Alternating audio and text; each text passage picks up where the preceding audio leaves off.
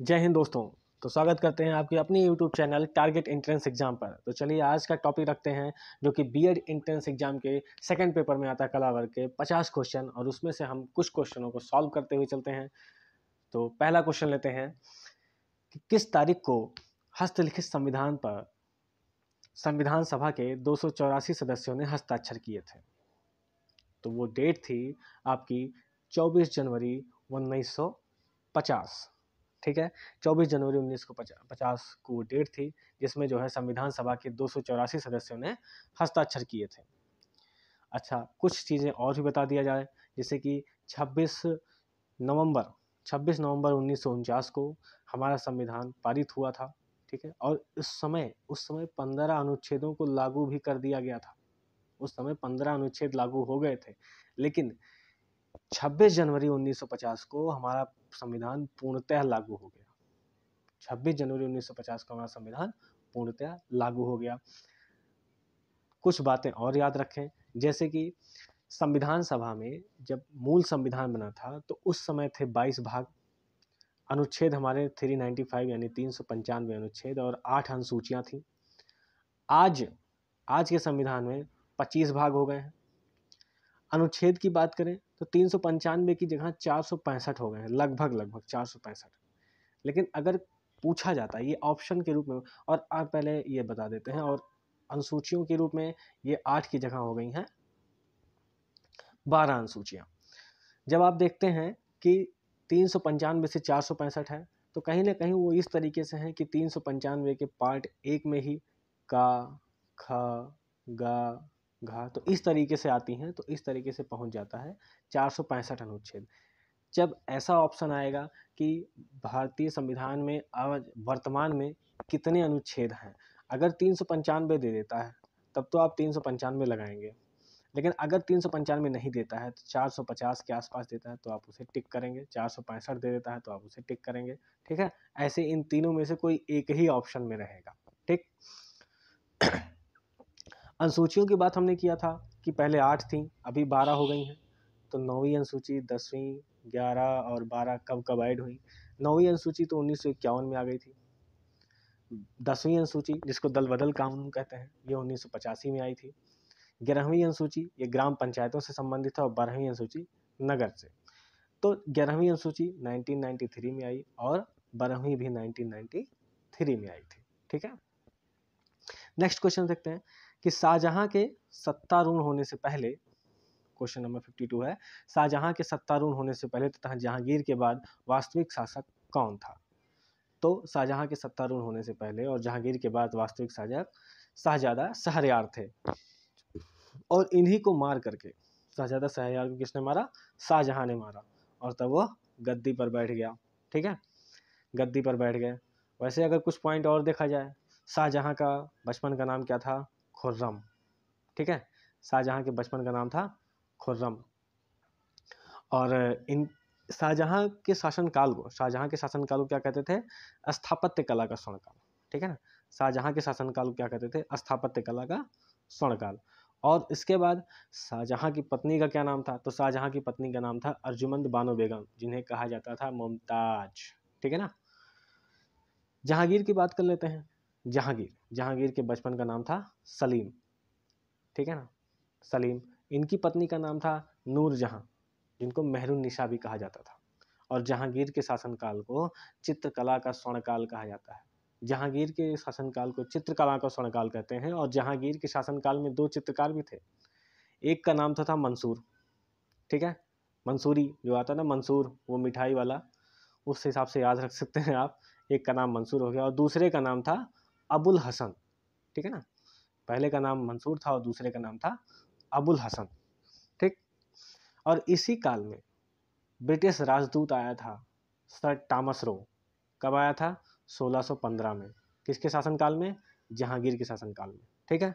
तो कुछ पॉइंट मैंने आपको बता दिया है, जैसे कि शाहजहाँ के बचपन का नाम खुर्रम था। शाहजहाँ जो है, जो काल था, उसको स्थापत्य कला का स्वर्ण काल कहते हैं, क्योंकि उसने बहुत कुछ बनवाया था, चाहे वो ताजमहल हो, चाहे लाल किला हो, ठीक है ना? तो कई चीज़ें उसने बनवाई थी और उसकी पत्नी का नाम था अर्जुमंद बानो बेगम, ठीक है ना? जिन्हें मुमताज़ महल कहा जाता था।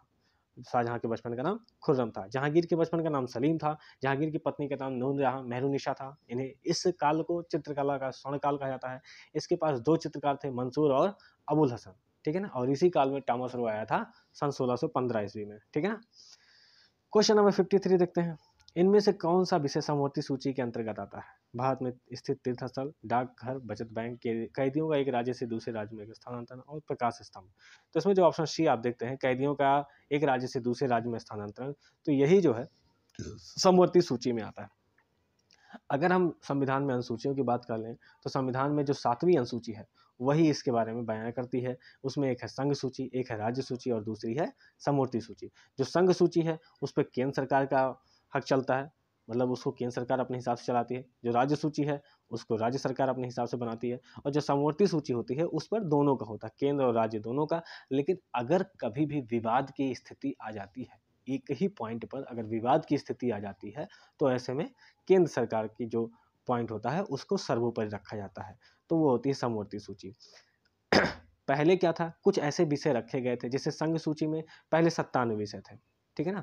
जो आज वर्तमान में सौ हो गए राज्य सूची में अगर समवर्ती सूची देखें तो समवर्ती सूची में सैंतालीस विषय थे, जो अब बढ़ करके बावन हो गए हैं। लेकिन राज्य सूची में विषयों को घटा दिया गया है, क्योंकि राज्य जब कभी कभी अपने आप मनमानी करते हैं तो हटाओ फिर इनको। तो उसके हो गए हैं, पहले छाछठ थे और अभी सिक्सटी वन हो गए नेक्स्ट क्वेश्चन पे चलते हैं। पनामा नहर किन दो सागरों, महासागरों को जोड़ती है? ठीक है? देखो, इसमें जो है, पहला है बाल्टिक सागर, उत्तरी सागर, कैरिबियाई सागर और प्रशांत महासागर, लाल सागर, भूमध्य सागर, अटलांटिक महासागर और प्रशांत महासागर। देखो, इसमें दो ऑप्शन सही है। दो ऑप्शन है। एक तो आपका ये देखो, अटलांटिक महासागर है और दूसरा कैरिबियाई सागर है। ठीक है ना? तो दोनों सही हैं। कैरिबियाई सागर और अटलांटिक, लेकिन ज़्यादा सही इसको माना जा रहा है अटलांटिक महासागर और प्रशांत महासागर को। ठीक है? कैरिबियाई सागर और प्रशांत महासागर, ये भी सही है, लेकिन अधिकतर इसको सही मानते हैं, ठीक है? अगर मान लो ऑप्शन डी नहीं होता तो आप ऑप्शन बी लगाएँगे। और उसका कारण भी मैं बता दे रहा हूँ, क्योंकि जब आप देखोगे, ये आपका जो है एक सेकेंड, ये आपका जो है, ये हाँ ये आपका यहाँ से, आप ये समझो कि ये हो गया ये हो गया नॉर्थ अमेरिका और ये हो गया आपका साउथ अमेरिका, ठीक है? और ये जो ऐसे गया है, यही पनामा नहर है। ये जो लाइन आप देख रहे हो, यही पनामा नहर है। और ऐसे में क्या होता है कि ये आपका अटलांटिक महासागर, ये पूरा। और इधर प्रशांत महासागर है, ठीक? लेकिन जो कैरिबियाई सागर है ना, वो यहाँ पे है, यहाँ पे। ये वाला एरिया छोटा सा है तो इसको कैरिबियाई सागर भी बोलते हैं। तो अभी क्या है, इस ऑप्शन में आप लगाओगे कि अटलांटिक महासागर और प्रशांत महासागर। ठीक है ना? अगर ये दोनों ऑप्शन में नहीं होते हैं, तब आप लगाओगे कैरिबियाई सागर और प्रशांत महासागर, ठीक? चलिए नेक्स्ट क्वेश्चन पे चलते हैं। विधायकों की संख्या की दृष्टि से भारत की सबसे छोटी विधानसभा कौन सी है? सबसे छोटी विधानसभा कौन सी है? विधायकों की संख्या से विधानसभा में दिल्ली में कितने हैं? तो दिल्ली में आपके हैं सत्तर विधायक, ठीक? पुडुचेरी में है तीस विधायक, गोवा में है चालीस और सिक्किम में है बत्तीस, ठीक है? तो उस हिसाब से ऑप्शन बी सही हो जाएगा और पुदुचेरी में विधानसभा की सबसे छोटी विधानसभा है ठीक है? औद्योगिक संगठन के मुताबिक कंपनियाँ प्रत्यक्ष विदेशी निवेश में जुड़ी होती हैं क्योंकि इसका तो सीधा सा जवाब होगा कि आ, क्या है? पूंजी की लागत में अंतर है स्थानीय कंपनी का पूर्ण स्वामित्व देश को नुकसान पहुँचा सकता है। कुछ संपत्ति स्थानीय नियंत्रण से ज़्यादा विदेशी नियंत्रण में अधिक मूल की होती है। एक विदेशी कंपनी अपनी तकनीकी की चोरी को रोकने के लिए कोशिश करता है। तो इसमें ऑप्शन सी हो जाएगा कि कुछ संपत्ति स्थानीय नियंत्रण से ज़्यादा विदेशी नियंत्रण में अधिक मोल की होती हैं ठीक है? फिफ्टी सेवन ग्रीक दर्शन का सूत्र वाक्य क्या है? ग्रीक दर्शन का सूत्र वाक्य हो गया, आश्चर्य करो ताकि तुम जान सको। देखो, ये चीज़ें, कुछ पॉइंट आपको याद रखने पड़ेंगे। ऐसे क्वेश्चन जो है, ऐसे क्वेश्चन जो है, वो क्वेश्चन जैसे पच्चीस क्वेश्चन आ गए, तीस क्वेश्चन आ गए तो पचास क्वेश्चनों में कहीं दो, चार क्वेश्चन ऐसे आते हैं। तो बहुत होता है कि हाँ फ़ेमस चीज़ें ही आती हैं इसमें, कोई दिक्कत नहीं होगा। तो ग्रीक दर्शन का सूत्र क्या होगा? आश्चर्य करो ताकि तुम जान सको, ठीक है? फिफ्टी एट क्वेश्चन लेते हैं। इलायची, पहाड़ियाँ किस पर्वत श्रृंखला में स्थित हैं? पहला अरौली पर्वत श्रृंखला, पीर पंजाल पर्वत श्रृंखला, पूर्वी घाट और पश्चिमी घाट। देखो, मैं तुम्हें बताता हूँ कि कार्डमम पहाड़ियों से पहले आते हैं, ऑप्शन एक पे चल जाते हैं। जब आप ये बनाते हैं, मान लो ये भारत का मैप हो गया, ठीक है? और ये आपका, ये गुजरात वाला पार्ट हो गया, ये थोड़ा सा राजस्थान हो गया और ये, ठीक है? ये थोड़ा सा इधर, यहाँ दिल्ली मान लो है। और अब आप देखोगे कि अरावली पर्वत श्रृंखला जो है, वो राजस्थान से ऐसे बनी हुई है दिल्ली तक जाती है, ठीक है? पीर पंजाल, ये आपका कश्मीर वाले एरिया में आ जाता है। पूर्वी घाट, ये आपका इस क्षेत्र में आ जाता है, ठीक है ना? ये पूरा पूर्वी घाट में आ जाता है और जो पश्चिमी घाट है, वो ये है, ठीक? अब तुम्हें बता देते हैं कि जो पूर्वी घाट और पश्चिमी घाट जहाँ आकर के बनती हैं, वो होती है नीलगिर की पहाड़ी। ये जो ये वाला एरिया है, ये होता है नीलगिर की पहाड़ी का ठीक है ना?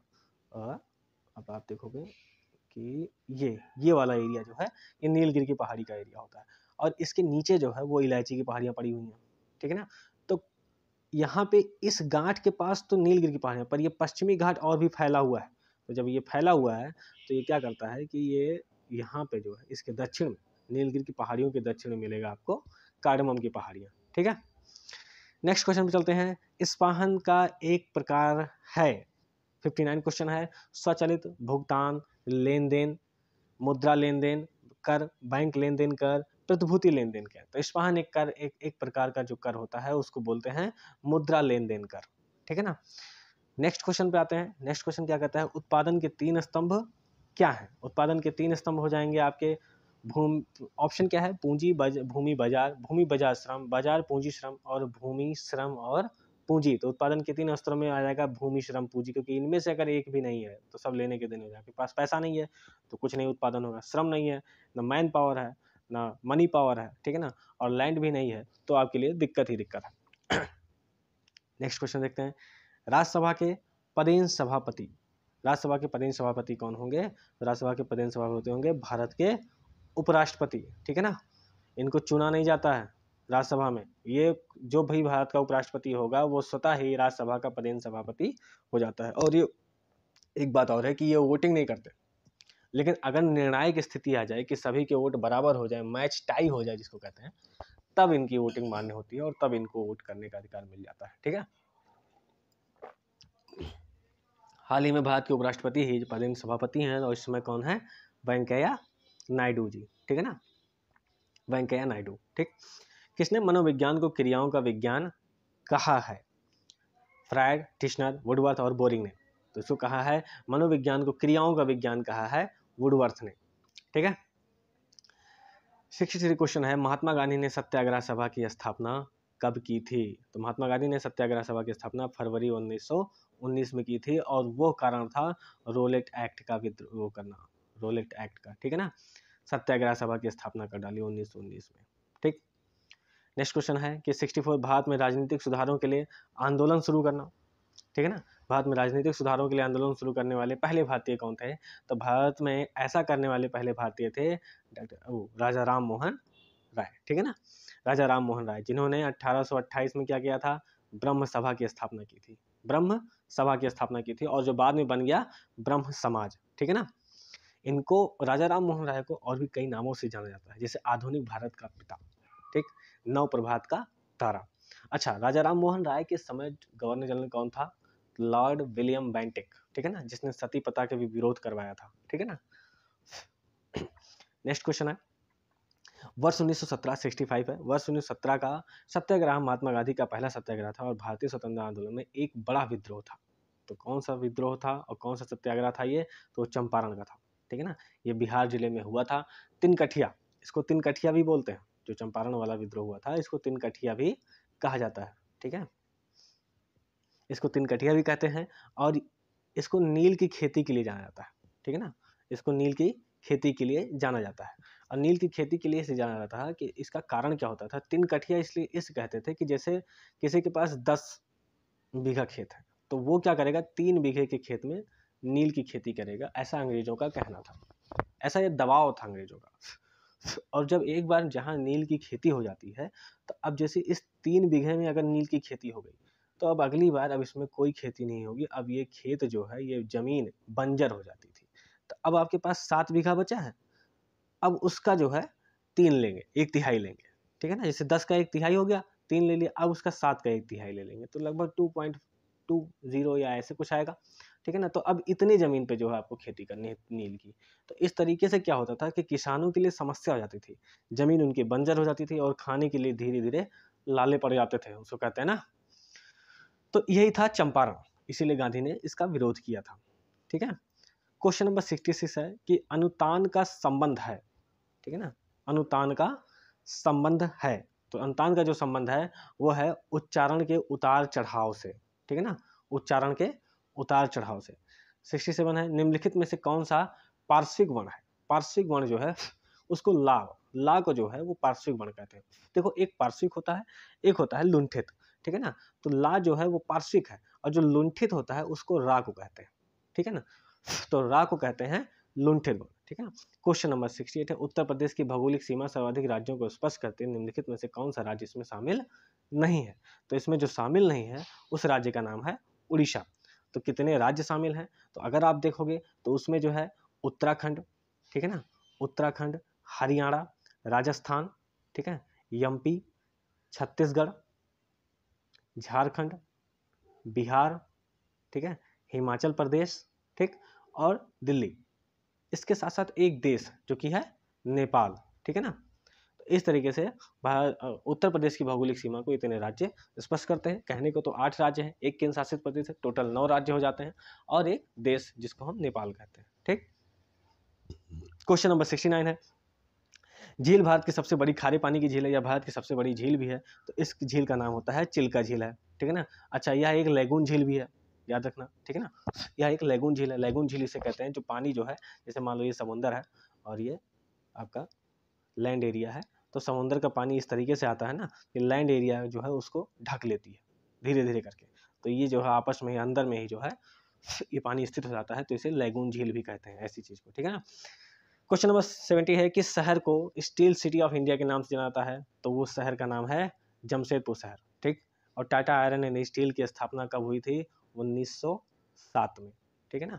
ये सत्तर है ना? इसी सत्तर का ज़ीरो सात कर दो, उन्नीस आगे लगा दो, देन हो गया 1970 ठीक है ना? तो steel city of India, Jamshedpur seventy one है। इनमें से कौन सी नदी भारत में पश्चिम दिशा में बहती नदी नहीं है? तो बहती नदी कौन सी नहीं होगी? तो वो होगी कृष्णा। कृष्णा बहती नदी नहीं है क्योंकि नर्मदा, लोनी और साबरमती जो है, वो एक तरीके से जो है, वो पश्चिमी दिशा में बहती हैं। ठीक है ना? ये गुजरात वाला एरिया हो गया और ये आपका ऐसा हो गया। ठीक है ना? अब जो है, नर्मदा नदी, ठीक? लोनी और साबरमती। ये सारी नदियाँ जो है, नर्मदा जो है, भ्रंश घाटियाँ बनाती हुई वो जाती हैं। लूनी भी यहीं जाती है। लूनी क्या होता है और राजस्थान के जो कच्छ का रण होता है ना, वो उसी में विलुप्त हो जाती है। वो आगे बढ़ ही नहीं पाती है। ये बेचारी का लूनी की तो लून ही हो जा रही है एकदम से, ठीक है ना? और साबरमती जो है, नदी जो है, वो भी जो है, पश्चिमी घाट में, अरब सागर में गिरती है।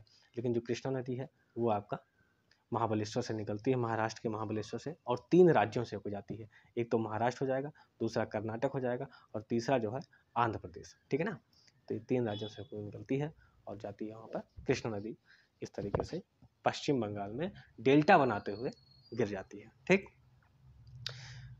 सेलेक्ट द कलेक्टिव नाउन तो कलेक्टिव नाउन कौन से हैं? तो ये पहला ऑप्शन है डॉक्टर टीम सिटी और विपुल तो इसमें जो ऑप्शन बी है टीम वही जो है कलेक्टिव नाउन का ऑप्शन रहेगा उसमें ठीक है? नेक्स्ट क्वेश्चन है सेवेंटी थ्री महात्मा गांधी ने अर्थव्यवस्था की वकालत की, स्थानीय, केंद्रीकृत, विकेंद्रीकृत और ग्लोबल तो महात्मा गांधी ने जिसकी वकालत की थी, किस अर्थव्यवस्था की? तो विकेंद्रीकृत. विकेंद्रीकृत का मतलब होता है कि गाँव को उठाओ, ठीक है ना? जैसे होता है ना कि केंद्र से एक होती है अर्थव्यवस्था जो केंद्रीकृत होती है, यानी केंद्र से चलेगी, नीचे तक आएगी, गाँव तक, ठीक है ना? लेकिन गांधी जी ने क्या कहा? गांधी जी ने कहा कि गाँव से उठाइए, ठीक है ना? कोई भी चीज़ को गाँव से उठाइए, पहले निचले स्तर पर गाँव, फिर ब्लॉक, फिर जिला, राज्य और फिर केंद्र, ठीक है ना? तो इस उन्होंने कहा था कि इसको विकेंद्रीकृत करो, इसको फैलाओ इस तरीके से। तब होगा। और इसीलिए जो है, कभी भी जब पंचायती राज व्यवस्था या कुछ भी जैसे ग्रामीण प्रवेश से कोई भी योजना लॉन्च होती है तो अक्सर आप देखोगे तो उसकी जो योजनाओं की लॉन्च की तिथि होती है ना, वो दो अक्टूबर ही रखी जाती है। मैक्सिमम दो अक्टूबर रखी जाती है। ठीक है ना? गांधी जी की जयंती की वजह से।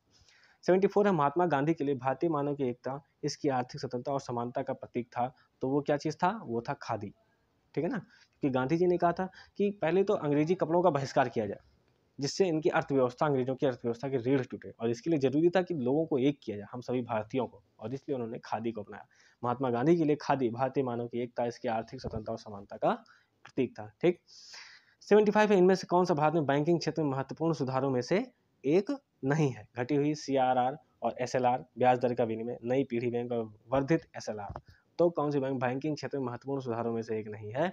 तो होता है वर्धित एस ठीक है? तो आज के टॉपिक बस इतना ही। और आप सभी लोग मन लगा के पढ़ें और निश्चित ही और भी क्वेश्चनों को लाया जाएगा। अगले ट्वेंटी फाइव क्वेश्चनों को ला करके उसकी तैयारी कराई जाएगी और आप सभी लोग देखें और साथ ही साथ चैनल को सब्सक्राइब करें और अधिक से अधिक वीडियो को शेयर करें, ठीक है? Okay thank you